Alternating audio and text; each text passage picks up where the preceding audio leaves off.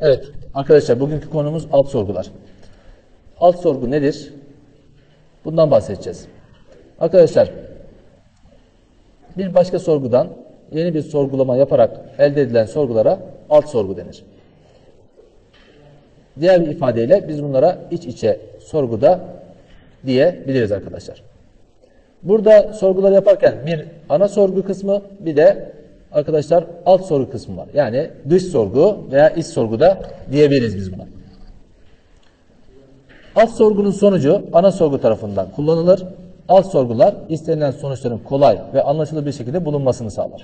Şimdi bunu grafiksel olarak da burada arkadaşlar çizdik biz. Bunların iki tane çeşidi var. Bunlardan bir tanesi tek satır döndüren alt sorgular. Tek satır döndüren demek e, alt sorgudan arkadaşlar sadece bir sonuç döndürülmesi demektir. Yani sadece bir değerin döndürülmesi demektir. Bir de birden fazla satır döndüren alt sorgular var. Bu da bir sorgu yapıyorsunuz, birden fazla değer oluşuyor. Bu değerlere göre ana sorgu e, yapılıyor. Yani birden fazla sonuç döndürülüyor. Evet. Şimdi alt sorgu kullanırken arkadaşlar kullanacağımız SQL fonksiyonları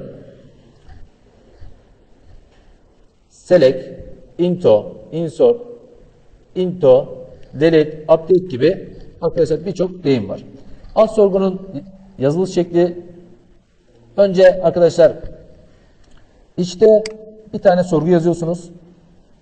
Bu sorguyu bu sorgu arkadaşlar bir sonuç elde ediyor. Bu sonuca göre arkadaşlar dıştaki sorgumuz tekrar sorgulama yapıyor ve yeni sonuçlar elde ediyoruz bununla birlikte. Evet. Şimdi sorguyu kullanırken burada arkadaşlar iç sorguyla dış sorguyu birbirine bağlamak için ver ifadesini kullanıyoruz. Ve ver ifadesinden sonra da bir karşılaştırma işleci kullanıyoruz. Eşittir, büyüktür, küçüktür gibi. Evet. Bunu örneklerle yapalım. Bunun için bir akses tablosu hazırladım ben. Bu tablomu şöyle açıyorum. Yaklaşık 27 tane kayıt var burada.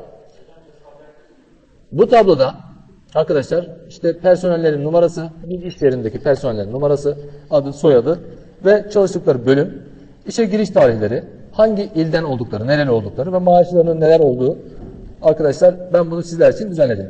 Buradaki rakamların birçoğu ayarlanmış. Yani e, bizim yapacağımız örneklere göre düzenlenmiş maaş değerleri, e, tarih değerleri biz ona göre ayarladık arkadaşlar durumu daha iyi anlayabilmek için. Evet. Şimdi arkadaşlar diyelim ki bir ilk örneğimizi yapalım. Bu tabloda arkadaşlar 4 nolu personeli işte 4 nolu personel burada maaşından fazla olan personelleri listelemek isteyelim. Bunu bir alt sorguyla yapalım. Önce ne yapacağız? Arkadaşlar bir sorgu ifadesiyle 4 nolu personel önce maaşını sorgulattıracağız. Daha sonra bu maaştan fazla olan personelleri sorgulatmaya çalışacağız. Oluştur diyoruz. Sorgu tasarımına geçiyoruz. SQL olarak yazıyoruz bunları. Sağ tuş SQL görünümleri. SQL görünüm dedikten sonra arkadaşlar sorgumu yazacağım. Arkadaşlar önce 4 nolu e, personelin maaşını sorgulatmak istiyorduk. Bunun için yazacağımız ifade şu. Select başlıyoruz. Sorgularımız her zaman select başlıyor. Zaten select sorgulama SQL kodumuz bizim. Select diyoruz. Maaş maaşa göre sorgulama yapacağız. From hangi tablodan yapacağız bu sorgulamayı? Personel tablosundan. Ve personel tablosundaki hangi veriye göre yapacağız arkadaşlar? 4 nolu personelin verisine göre yapacağız arkadaşlar. Verilerine göre yapacağız. Bunun için ver diyoruz. 4 nolu personeli ifade etmek için de personel no eşittir 4 diyorum arkadaşlar. Şu aşamada sadece tek bir sorgu yazdık. Ee, yani bir alt sorgu oluşturmadık. Biz bu sorguyu bir sonraki aşamada arkadaşlar bir alt sorgu haline getireceğiz. Ya da iç sorgu haline getireceğiz. Şimdi önce bunun sonucunda ne dönüyor? Bunu bir görmeye çalışalım. Çalıştı diyorum. Çalıştı dediğimde bunun sonucu ne döndü arkadaşlar? 4 nolu personelimizin maaşı döndü. Bakalım 4 nolu personelimizin maaşı neymiş? 2000 TL. 2000 Türk Lirası. Şimdi tekrar buraya geri dönüyorum. Sağ tuş SQL görünümüne geç diyorum. Bu sorgumuzu arkadaşlar bir alt sorgu haline getireceğiz ya da iç sorgu. Dışarıya bir dış sorgu yazarak bu sorguyu içeride bırakacağız. Bunu yapabilmek için şunu yapacağız. Diğer personellerin arkadaşlar biz ne istiyorduk? 4 numaralı personelin maaşından daha fazla maaş alan personelleri listelemek istiyorduk.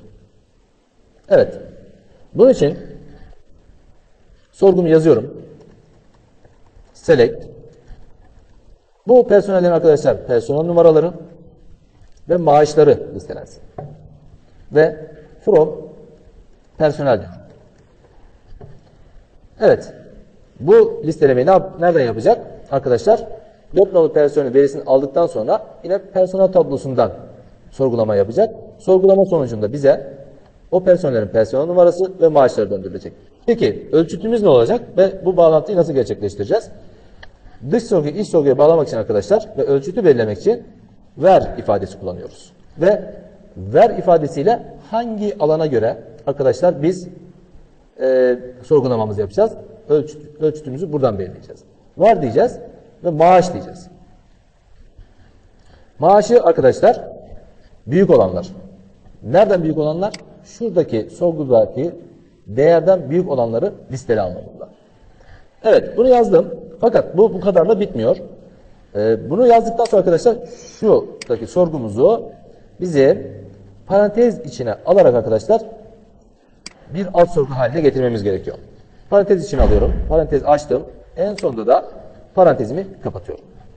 Parantezimi kapattıktan sonra arkadaşlar çalıştıra bastığımda e, personel tablosundaki 4 nolu personelden daha yüksek maaş alanları listelemiş olacağız. Çalıştıra basıyorum. Daha yüksek maaş alanları bu şekilde listelemiş olduk. 2000 TL'den yüksek olan maaşları bu şekilde listeledik arkadaşlar. Gördünüz mü? Bunu değişik şekillerde yapabilirsiniz.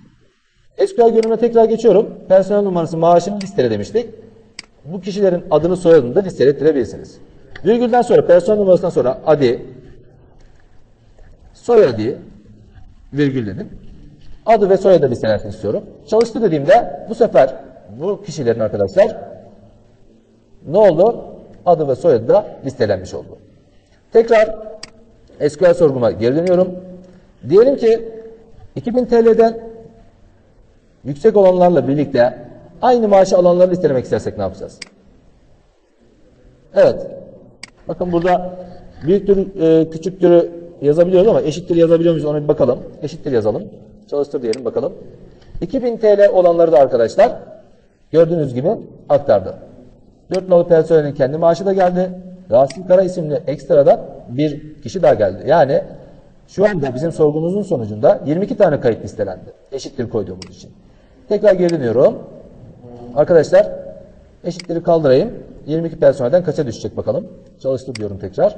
Bu sefer 22 personelden 19 personele düştü. Yani 3 kişinin daha maaşı 2000 TL'ymiş. Bu şekilde arkadaşlar alt sorguya bir örnek yapmış olduk. Bu uygulamamızı şu şekilde kaydediyorum. Kaydet diyorum. Birinci uygulamamızda arkadaşlar bu. 01 diyorum. Alt sorgu.